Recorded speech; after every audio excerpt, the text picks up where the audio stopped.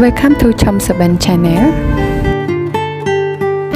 The one and only one that Yibo keep his eye on.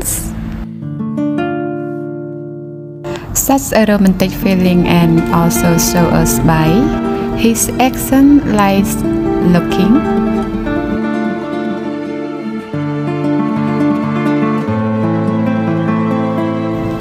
touching talking playing.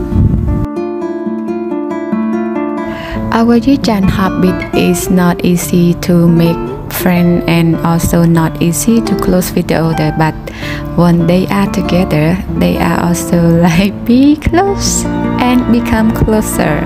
So really love